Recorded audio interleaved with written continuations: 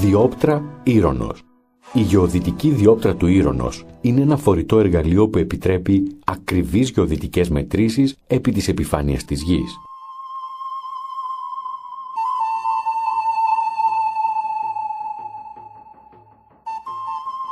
Μετρά αζημούθια, ύψη, μήκη καθώς και γωνιακές αποστάσεις.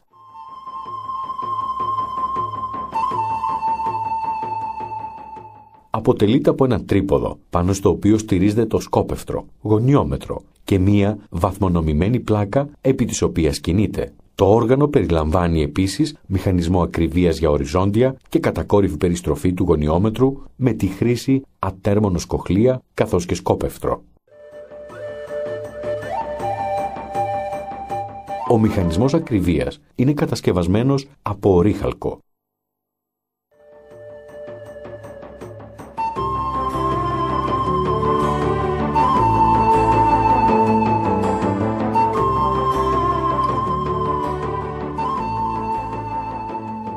προσωμιωτής ουράνιας σφαίρας, 80 π.Χ. Σχολή Ποσειδονίου Ρόδος.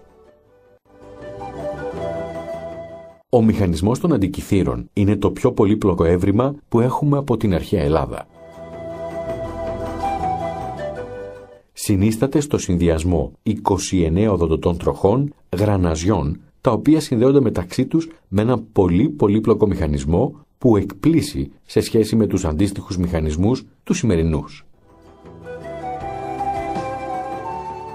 Η ονομασία του οφείλεται στο ναυάγιο που βρέθηκε στην περιοχή των Αντικυθύρων, όπου πέρα από τα νομίσματα και τα αγάλματα βρέθηκε και το θράσμα που φαίνεται σε αυτή την εικόνα.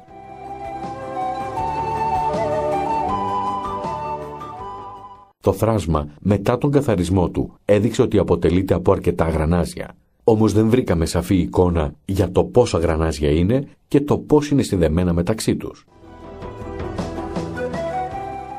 Για την επιστημονικότερη μελέτη των θραυσμάτων χρειάστηκε να περάσουν από ραδιοκτηνοβολήσεις, οπότε πήραμε αυτές τις ραδιοκτηνογραφίες. Σε αυτές φαίνεται πάρα πολύ καθαρά ότι πρόκειται για πάρα πολλά γρανάζια, τα οποία είναι συνδεδεμένα μεταξύ τους και πολλές φορές αλληλοκαλύπτονται. Πάνω σε αυτά τα δεδομένα εργάστηκε για πάρα πολλά χρόνια ο κύριος Πράις και κατέληξε στην πρόταση που εκτίθεται σε αυτό ακριβώς το σημείο.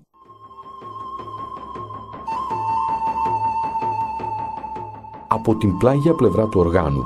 Μπορούμε να δούμε ακριβώς τα 29 γρανάζια, πώς είναι τοποθετημένα μεταξύ τους, σύμφωνα με τον κύριο Πράις πάντα, τα οποία όλα δίδονται σε λειτουργία από αυτόν εδώ τον κυκλικό τροχό.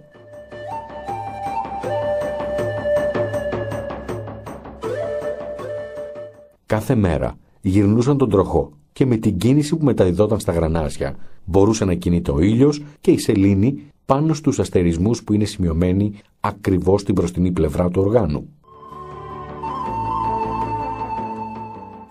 Έτσι μπορούσαν να ξέρουν για κάθε μέρα ακριβώς σε ποιον αστερισμό προβάλλεται ο ήλιος και σε ποιον αστερισμό είναι η σελήνη. Με αυτόν τον τρόπο μπορούσαν να προσδιορίσουν την ημερομηνία, τον μήνα και την ημέρα, γιατί είναι γνωστό ότι όταν ο ήλιος προβάλλεται σε κάποιον αστερισμό αντιστοιχεί σε κάποιον συγκεκριμένο μήνα.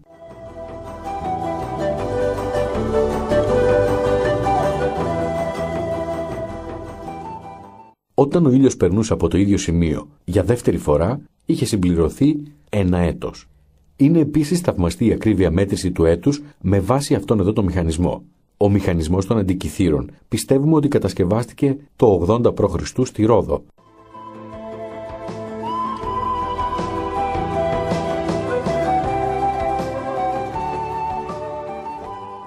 Βυζαντινό ρολόι ημερολόγιο. Το βυζαντινό αυτό όργανο ανήκει κατά πάσα πιθανότητα στην εποχή της βασιλείας του Ιουστινιανού. Γύρω στα 510 μετά Χριστόν, έργο αγνώστο έως σήμερα κατασκευαστή, πρόκειται για σύνθετο μηχανισμό.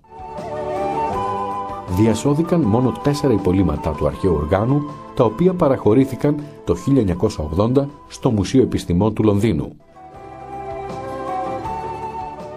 οι συνεργάτες του Μουσείου Επιστημών Field και Wright επέτυχαν να το ανακατασκευάσουν, βασιζόμενοι σε ανάλογες κατασκευές και συναφείς πληροφορίες. είναι σύνθετος ως προς τη λειτουργία και περιλαμβάνει ηλιακό ρολόι και ημερολογιακό μηχανισμό. Θεωρείται ως απόγονος του περίφημου οργάνου της ελληνιστικής περίοδου, γνωστού ως μηχανισμός των αντικειθήρων.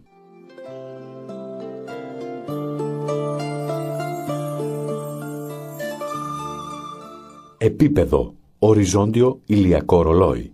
Μετρά ώρες της αυτής διάρκειας. Η διάρκεια του ημερονικτίου διαιρείται σε 24 ισόχρονες ώρες. Το ηλιακό ρολόι χρησιμοποιήθη ευρύτατα κυρίως κατά το μεσαίωνα για τη μέτρηση του αληθούς ηλιακού χρόνου. Εις το παρόν ρολόι εχαράχθησαν και οι τροχές της σκιάς του άκρου του δίκτου, γνώμονος για την πρώτη εκάστου μηνός.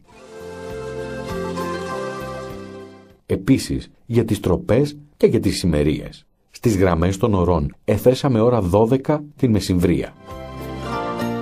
Η επίσημη ώρα, αυτή που μετράνε σήμερα τα ρολόγια χειρός, βρίσκεται αν προσθέσουμε στην ένδειξη του ηλιακού ρολογιού τόσα λεπτά όσα δίδονται από τη σχετική καμπύλη για την ημέρα που διαβάζουμε την ένδειξη του ρολογιού.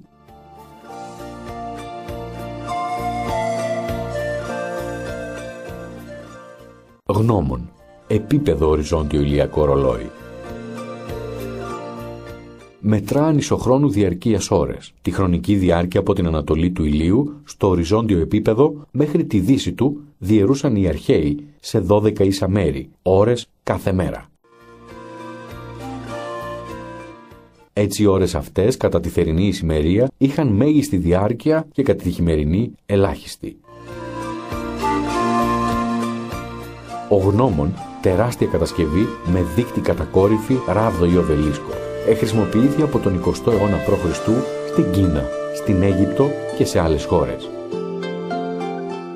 Με αυτόν προσδιορίζαν τη μεσημβρινή γραμμή, τις μεσημβρίες, τις ησημερίες και άλλα γεωγραφικά και αστρονομικά στοιχεία. Χρησιμοποιήθηκε και για τη μέτρηση του χρόνου με ανισόχρονες ώρες στην αρχαιότητα, δηλαδή σαν ηλιακό ρολόι. Στο παρόν ομοίωμα γνώμονος ηλιακού ρολογιού εχαράχθησαν οι τροχές της σκιάς της εχμής του δίκτου κατά τις τροπές και τις ημερίες και βεβαίως για ημερήσιες ώρες με ώρα, έξι τη μεσημβρία. Για σύγκριση με τις ισόχρονες ώρες του αληθιού ηλιακού χρόνου εχαράχθησαν και τέτοιες ισόχρονες ώρες με αραιές διακεκομένες γραμμές, στις οποίες αντιστοιχίσαμε για διάκριση την ώρα 12η στη μεσημβρία.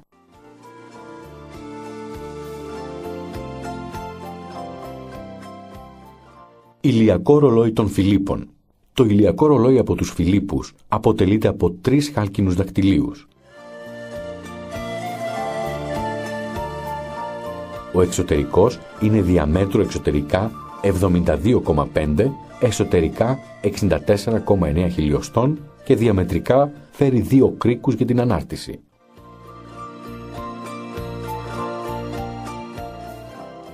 Ο μεσαίος δακτύλιος αποτελείται από δύο χωριστούς ημιδακτυλίους. Κάθε ημιδακτύλιος συγκρατείται από άξονα, ο οποίος αποτελεί ενιαία κατασκευή με το στέλεχος, στο οποίο περνά ο κρίκος.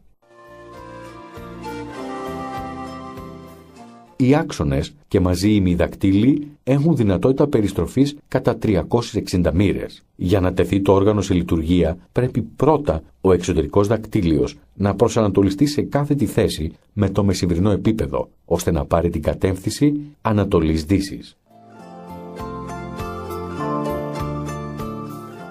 Μετά, ο εσωτερικός δακτύλιος με την οπτομετρική οπή τοποθετείται στο μήνα που διανύεται.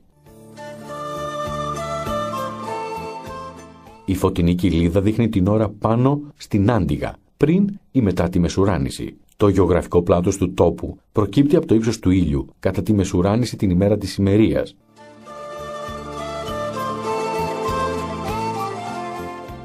Προσδιορίζει το συμπλήρωμα του γεωγραφικού πλάτους. Το όργανο προσδιορίζει επίσης το αζημούθιο και το ύψος του ήλιου ή κάποιο άλλο αστέρα.